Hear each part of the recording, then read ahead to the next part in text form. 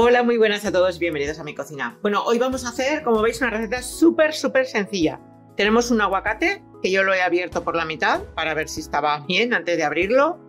Tenemos aceite de oliva, pimienta, sal y huevos. Podemos utilizar uno o dos. Yo en este caso voy a utilizar dos.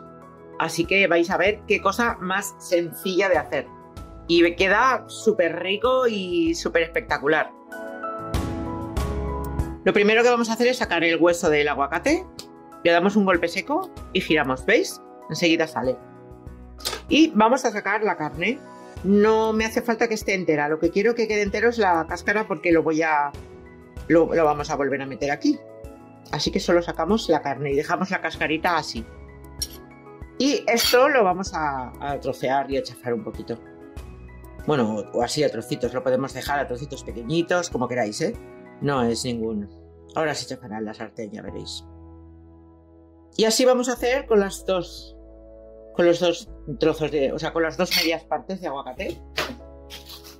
La misma operación. Mirad, el aguacate lo tenemos aquí todo troceadito. Hemos puesto una sartén al fuego que voy a poner una cucharadita más o menos de aceite de oliva. No hace falta mucho, ¿eh? Y vamos a esperar a que esté bien calentito. Haremos, eh, lo voy a hacer en dos veces, haré mitad y luego la otra mitad, ¿vale? Porque como he cogido una sartén pequeñita, además así lo distribuimos mejor, pero se puede hacer todo de una, ¿eh? Eso depende de la prisa que, que tengáis, lo podéis hacer de una forma o de otra. Aquí voy a poner la mitad del aguacate.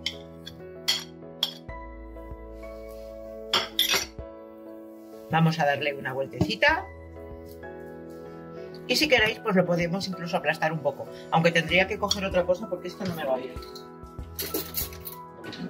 Vale, mejor así el tenedor, porque con la lengua lo que hago es que lo escampo. Lo podemos aplastar un poquito, ¿eh? Si queréis, ¿eh? Si no, lo podéis dejar así, a trocitos, que no hay ningún, no hay ningún problema. Se puede hacer de las dos formas. Este plato queda muy rico, ¿eh? Además, con, el huevo, bueno, es un espectáculo, ya veréis. Queda muy, muy bueno. Así, un poquito solo.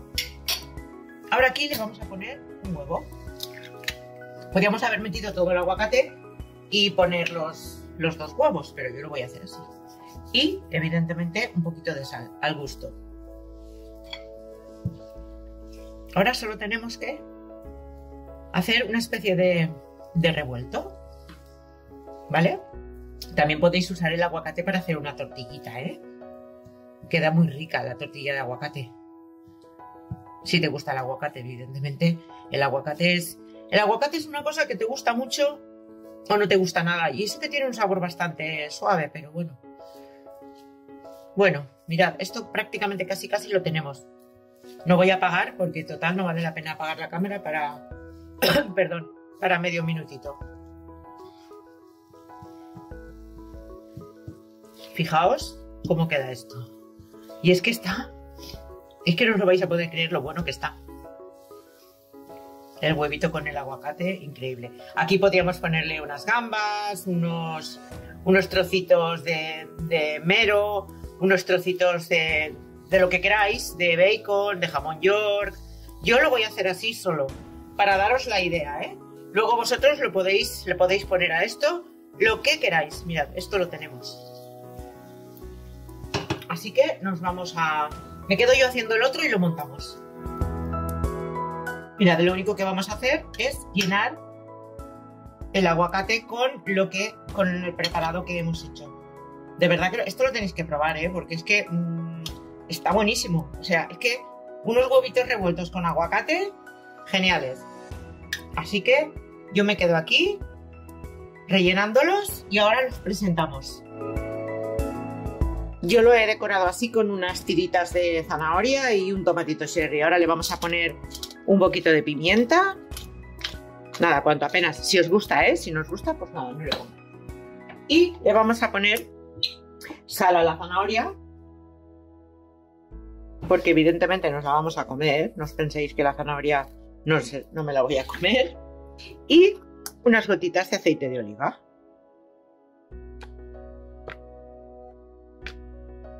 Crudo Y lo tenemos. Bueno, ¿qué os ha parecido? Ingredientes muy básicos, plato súper rápido, mirad lo que me ha costado, yo creo que ni 5 minutos. Y nada, que si os gustan mis vídeos, pues ya sabéis, like, suscripción y activación de campanita. Y si hacéis alguna de mis recetas y las subís a Instagram, etiquetarme para que os pueda dejar un like y un comentario. Y me despido aquí. Hasta el próximo.